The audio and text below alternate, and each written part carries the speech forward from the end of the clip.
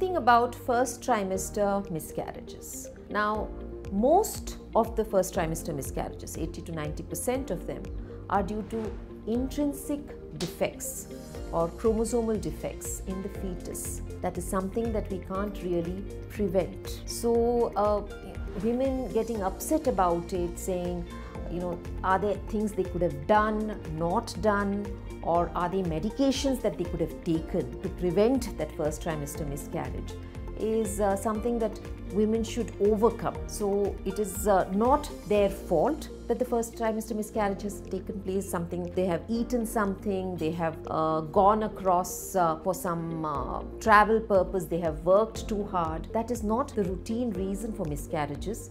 80 to 90% of them are due to intrinsic defects in the fetus which cannot be really prevented. Of course, there are certain reasons for miscarriages that can be detected and can be prevented.